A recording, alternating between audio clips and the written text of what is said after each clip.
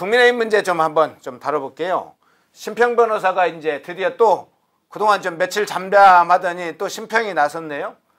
국민의힘 전당대회와 관련해서 어, 이런 얘기를 했습니다. 전당대회 때 윤심이 작동할 것이다. 친한 세력에 반대하는 세력들이 친윤을 중심으로 뭉쳐 한동훈 위원장 대항마로 내세울 것이다. 한동훈 대항마로는 어, 누구를 생각하느냐? 그러니까 황우여 비대위원장이 카드가 있다. 이렇게 이야기를 했어요. 어떻게 보세요? 저는 심평 변호사 이야기는 다루지 않았으면 좋겠어요. 그런가요? 아 의미가 없어요. 왜 예. 방송에서 왜 다루는지 모르겠어요. 뭐 심평 변호사가 뭐 대단한 사람입니까? 윤 대통령 멘토입니까? 아니라고 그랬어요. 대통령도 네. 심평 변호사 나 멘토 아니다 이렇게 이야기를 갖다가 했었고 음. 그 다음에 합리적이고 상식적인 이야기를 하면 아 그럼 한번 그 역시 뭐 원로니까 이제 심평 변호사가 뭐 판사도 하고 변호사도 하고 교수도 하고 뭐 그랬던 분 아닙니까? 아 뭐 우리나라 지식인이고 원로니까 들을 만한 이야기는 새겨 듣는 건 좋은데 들을 만한 이야기가 없잖아요. 전 그런 생각이 들고 그 다음에 웬또 뚱딴지 같이 황우엽니까? 제가 봤을 때 한동훈 비대위원장이 당 대표가 돼서는 안 된다라고 하는 가장 강력한 논거는 뭐냐?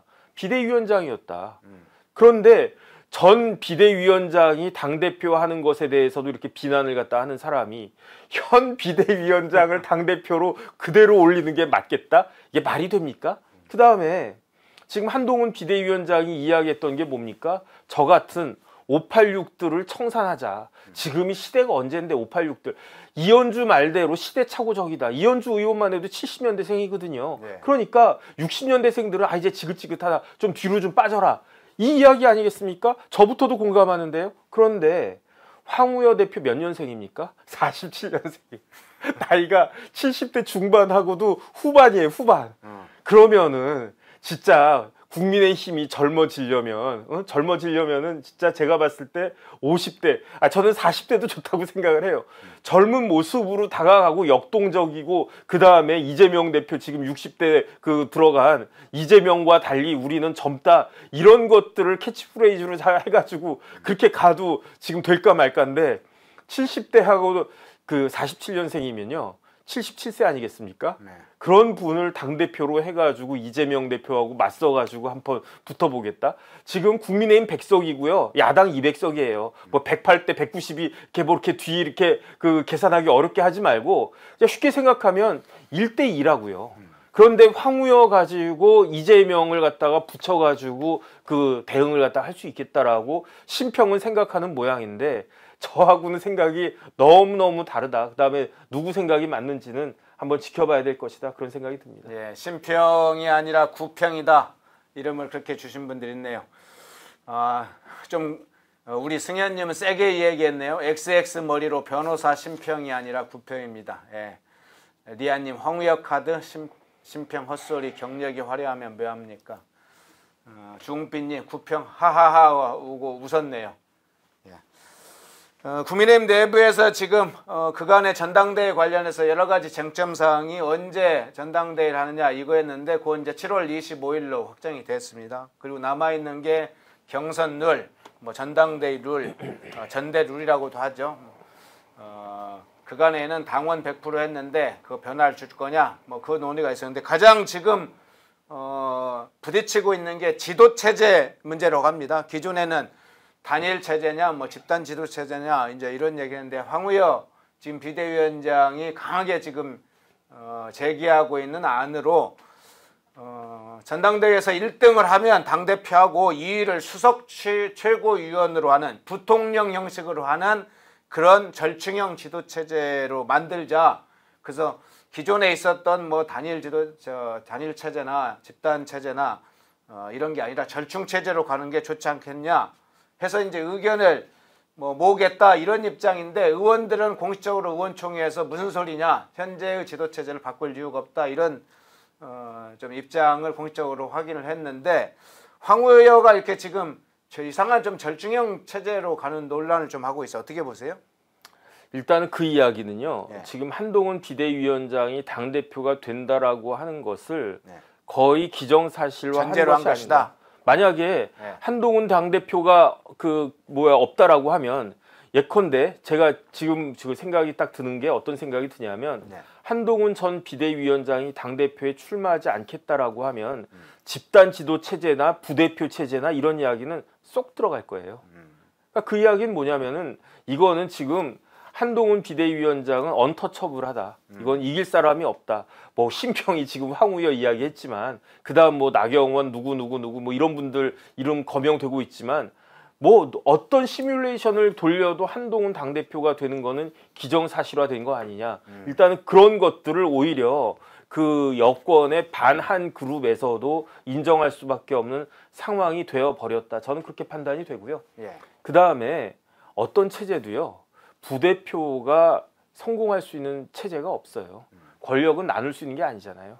이거를 당 대표가 있는데 부대표가 내 권력을 갖다가 나눠달라고 하면 그게 나눠지겠습니까? 네. 그 대통령하고 부통령하고 있을 때 미국 같은 경우에 부통령 있잖아요. 부통령 누군지 아십니까? 모르잖아요. 네. 부통령이 누군지 알게 되는 거는 대통령이 갑자기 변고가 생겼을 때나 부통령이 누군지 알게 되는 거고 음. 그러니까 붙자 들어간 그러한 그 사람에게 어떤 권력이나 권한을 심어 주려고 하는 것 자체는 음. 큰 의미가 없다. 당장 민주당만 해도 수석 최고위원이 누굽니까? 음. 정청래 수석이었잖아요. 예. 그런데 거기에 대해서 이재명 대표하고 딱 그 위상을 갖다 놓고 봤을 때 비교가 됩니까? 되지가 않잖아요. 음. 저는 제가 봤을 때 그렇기 때문에 아무리 그렇게 그 뭐 집단 지도 체제나 뭐 이런 체제나 이런 것들을 갖다가 하려고 해도 그래도 오히려 그런 것들은 당내 분란만 일으키고 당내 그 동력만 깎아먹을 거- 것이다. 저는 그런 생각이 들고요. 예. 오히려 한동훈을 반대하는 사람들 입장에서는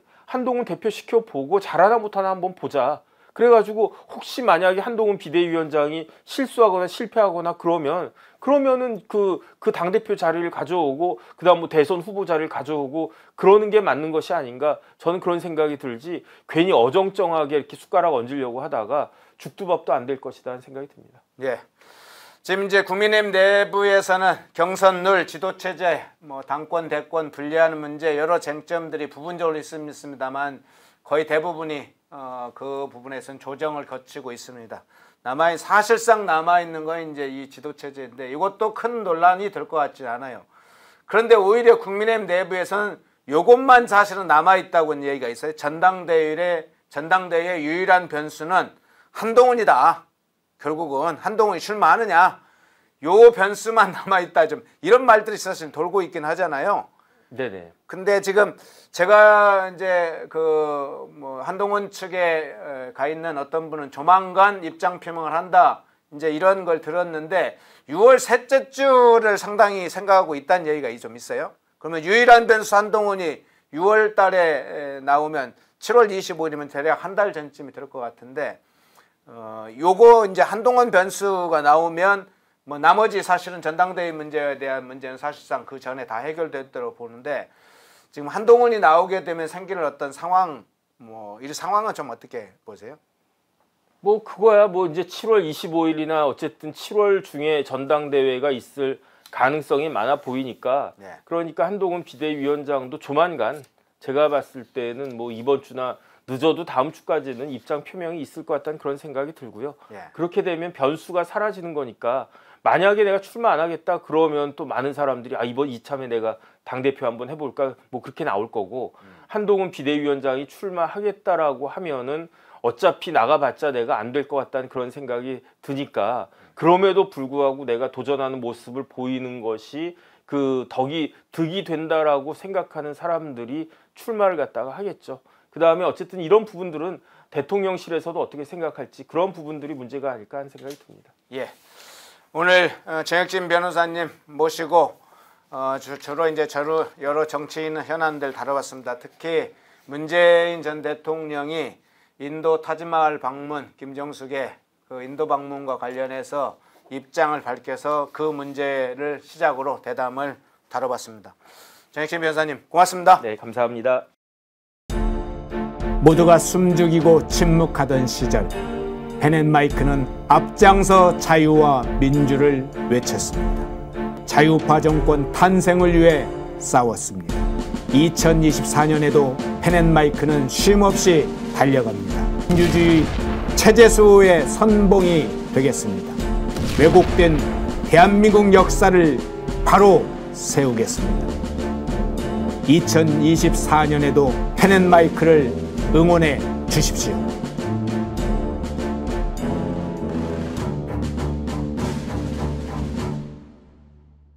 인터넷 검색창에 펜앤마켓을 검색해 주세요.